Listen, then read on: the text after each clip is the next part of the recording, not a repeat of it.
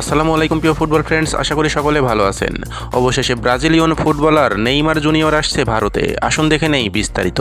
কোটি কোটি টাকার বিনিময়ে ইউরোপ থেকে তারকা ফুটবলারদের নিয়ে এসেছে সৌদি আরব। Ronaldo, Karim Benzema Neymar, Sadio Mane ফেরমিনের মতো বিশ্বমানের ফুটবলাররা সৌদি লিগে যোগ দিয়ে বদলে দিয়েছে দেশটির ফুটবলের চিত্র। তারকা এসব ফুটবলারদের দলে ভিড়িয়ে সৌদি ক্লাবগুলোর নজর পড়েছে এখন মহাদেশীয় ক্লাব শ্রেষ্ঠত্বের শিরোপা অর্জনের দিকে।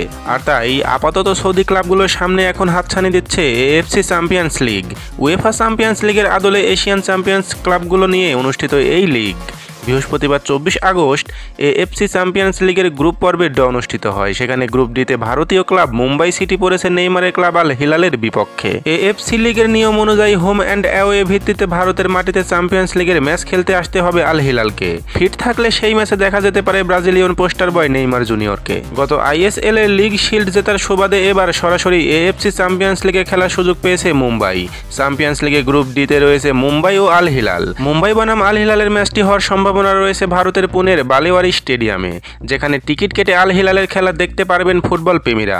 যদিও সেখানে দর্শক সংখ্যা মাত্র এগারো হাজারের কিছু বেশি হওয়ায় খুব বেশি মানুষ নেইমারদের খেলা মাঠে বসে দেখতে পারবেন না। শুভকামনা রইল নেইমারের জন্য। শুভকামনা রইল ভারতের মুম্বাই টিমের জন্য। ব্রাজিলিয়ন পোস্টার বয় নেইমার জুনিয়রের পদধূলি পড়বে বাংলাদেশের পাশের দেশ ভারতে।